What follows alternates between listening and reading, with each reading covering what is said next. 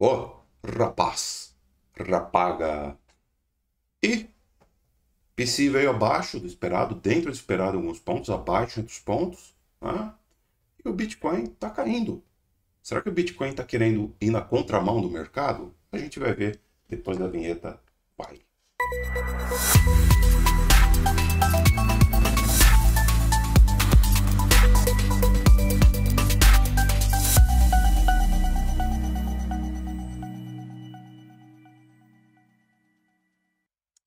Antes de qualquer coisa, já pedindo para você largar seu like nesse vídeo, se inscrever no canal se está inscrito, verifique sininho das notificações, porque o YouTube está entregando nossos vídeos para 10% dos inscritos. Então, certo é você realmente verificar se o sininho está ativado para você receber notificações aqui do canal. Beleza?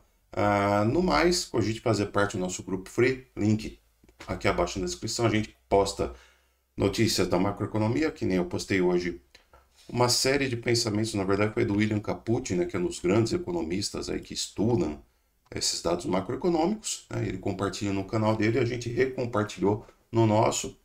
O Neto também compartilha ali notícias do criptomercado e caso você se interesse, tem um grupo VIP que a gente passa sinais com uma probabilidade de acerto bem alta, tá dando um número bem interessante de acertos ali, tá bom? E se você for holder e quiser guardar suas criptomoedas na carteira mais confiável do momento, temos essa Trezor Model T, a última palavra em tecnologia de armazenamento de criptomoedas em carteiras físicas, que são mais confiáveis que as carteiras é, que você tem em desktop. São bem mais confiáveis, diga-se de passagem, né?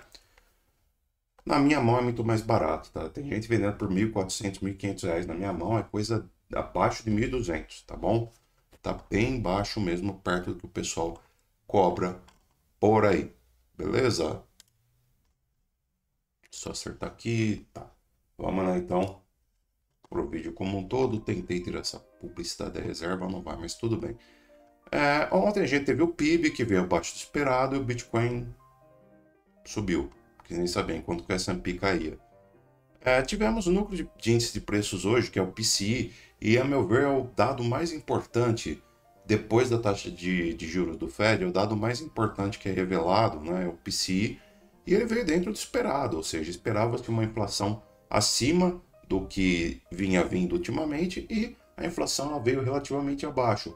Logo, em tese, deve começar aí as divagações né, sobre o fato de possivelmente o Federal Reserve é, optar por manter a taxa de juros ou quem sabe até reduzir a taxa de juros aí nos próximos é, meses. Né? A gente vai ter agora uma reunião em junho e, claro, vai ter os otimistas imaginando que eles vão querer baixar já em junho a taxa de juros. Eu acho que não, mas enfim, vai aí de cada um.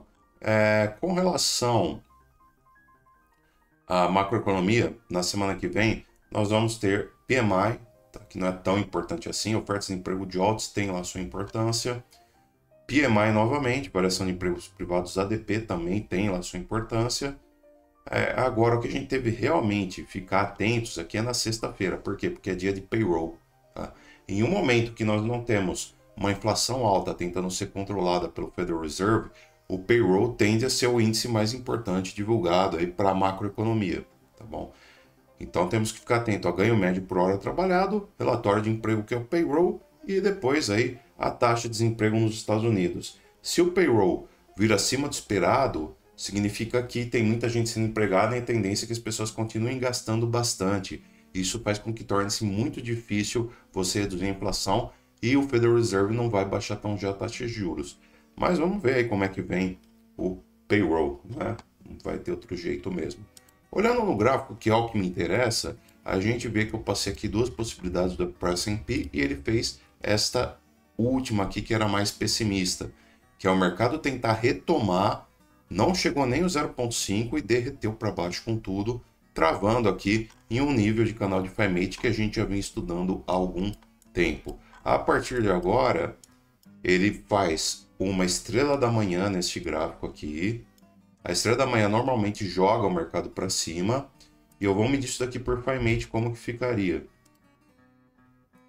Por Fimate, eu vou levar em conta este indo aqui como um canal de referência E o rompimento de 5.235 faria com que o mercado viesse buscar 5.248 e quem sabe aí 5.262. Porém, a perspectiva para o é, S&P agora é uma perspectiva clara de baixa. Né? A gente está realmente em uma situação pouco confortável aí para o mercado. Nosso ABC corretivo deu certo, tudo ok.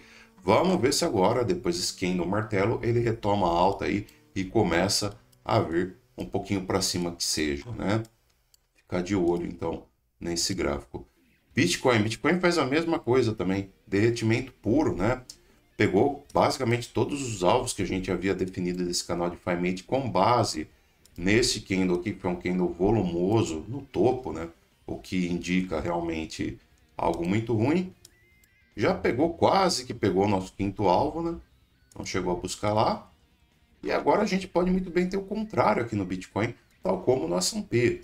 A gente pode ter o quê? Isso daqui é um canal de referência, e caso ele rompa a zona neutra em 67.963, nós teremos um rompimento da tripoema de 610 períodos. Então a gente poderia muito bem começar a escalonar aqui o Bitcoin para cima, tendo seu último alvo em 70.300 dólares, né? Então tem uma perspectiva positiva para o Bitcoin se ele conseguir romper aí a faixa de 67.985, o que vai ser bem difícil. No gráfico de uma hora, a gente travou realmente aqui na Golden Ratio. É, eu disse que seria difícil romper. Ele veio para baixo buscar aqui, muito próximo, pelo menos, esta LTA, né? Que é uma LTA que vem lá de trás, ó. LTA que veio desde o dia... Peraí. Desde o dia 10 de maio. Tá? E provavelmente ele viria buscar essa LTA. Só que agora ele fez o quê? Também no gráfico de uma hora, ele fez algo parecido com um candle martelo ou coisa assim. Então, se ele mostrar uma recuperação bem interessante nesse candle aqui, e ele conseguir superar essa faixa de 68.120 dólares, é, a gente tem alvo lá para 68.800 e quem sabe aí ainda 69.500, mas a gente vai ter que enfrentar uma triple de 610 períodos que deve impor certa resistência ao mercado. Gráfico de 4 horas, a gente está estudando esse cana esses canais de Firemate com base neste candle aqui, tá bom? E ele já está ainda na zona neutra. Para perder essa zona neutra é 66.200. E se o Bitcoin vier abaixo de 60.200, realmente a gente fica numa perspectiva de baixa muito grande, cara, muito grande mesmo. Começar por aqui, tá? Por Fibonacci puro mesmo. A gente tem alvo lá para 65 mil, eu diria que vem até abaixo, viria para 64, coisa do tipo, tá bem ruim mesmo o gráfico. E aqui a gente não consegue fechar candle no diário acima de 71.500, o que cada vez mais torna preocupante aí a situação do Bitcoin. Sentimento tá bem ruim, tá pessoal? O CBD caiu, é basicamente a única coisa boa que a gente consegue ver por aqui. Mas ó, o price action corrigindo com long short ratio subindo, ou seja, tá cheio de sardinha tentando adivinhar fundo no Bitcoin e isso só faz o Bitcoin cair cada vez mais, tá? Por outro lado, ó que ruim isso daqui também, ó. Long short, é, perdão, o open interest subindo com a queda no mercado, ou seja, tem muita instituição interessada em ver o mercado derreter, cara, que é péssimo, é bem ruim mesmo, tá? Ademais, funding rate 0.01%, tá até ok isso aí, mas o problema é que ultimamente a gente teve muito mais liquidações em long do que em short.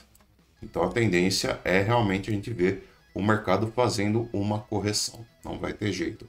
Até porque a gente vê aqui, ó, no Trading Light, temos ainda ordens pesadas de venda em 70.830, também em 72.277 mil bitcoins para venda aqui é muita coisa, cara. E aqui, ó, 201 mil bitcoins para venda e 73 mil. Por outro lado, a gente não vê grandes regiões para compra que ultrapassem 100 mil bitcoins. Então, tem muita instituição interessada na queda do Bitcoin e não na alta. Gente tem que ficar realmente esperto. Crypto Firm Grid Index, mercado em ganância. Mesmo com essa queda, mercado em ganância, isso é péssimo para o mercado. Existe uma probabilidade muito grande de a gente ver uma correção maior. Por esse vídeo é isso. Agora sim, último vídeo da semana. Falou, fui, adiós, tchau, tchau, até mais. Fui.